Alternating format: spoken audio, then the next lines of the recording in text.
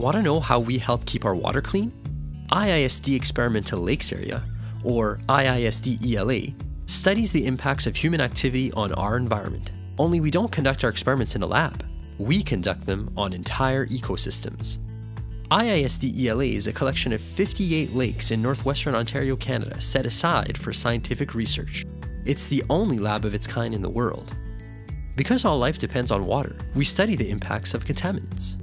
Evidence from real world ecosystem experiments help governments make better decisions and help protect our water and planet. Here are some of the things we research Mercury. Mercury is a naturally occurring element found in low concentrations in soil. It's also a waste byproduct of coal burning, mining, smelting, oil refining, and cement production. In high concentrations, mercury can be poisonous to the nervous system. How does it get in our water? Mercury exists in many forms, but is often released into the atmosphere as inorganic mercury by industrial emissions. Mercury falls in rain onto land, lakes, and rivers, where it may be converted by bacteria to methyl mercury, a highly toxic form that can build up in humans and animals. Why is it an issue? Methyl mercury is taken up by bacteria and algae, which are then eaten by zooplankton and other invertebrates, and in turn, small fish, which are eaten by larger predator fish. Methylmercury concentrations increase with each step up the food web in a process called biomagnification. The highest concentrations occur in large fish, birds, and mammals like us. Humans are mostly exposed to mercury from eating contaminated fish. This shouldn't prevent people from eating fish, as it's one of the healthiest sources of protein. In areas where mercury contamination may be high, it's best to avoid eating larger and older fish. How do we know? Each year for seven years, researchers at IISD ELA added one sixth of a teaspoon of inorganic mercury to a lake and the surrounding landscape to mimic mercury in rain.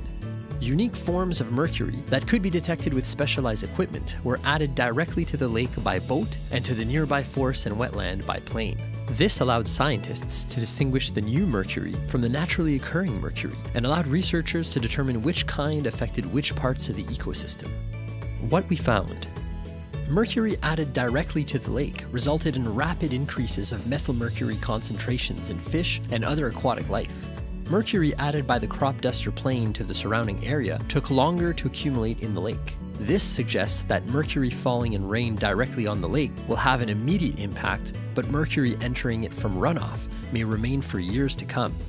When mercury was no longer directly added to the lake, methylmercury levels in small fish declined by 80% within four years. These results provide strong evidence for limiting mercury emissions. What was done? Canada and the United States have both proposed new laws to reduce mercury emissions from coal fired power plants, with the goal of reducing methylmercury in fish. By reducing mercury emissions, we reduce methylmercury concentrations in our lakes and in our food.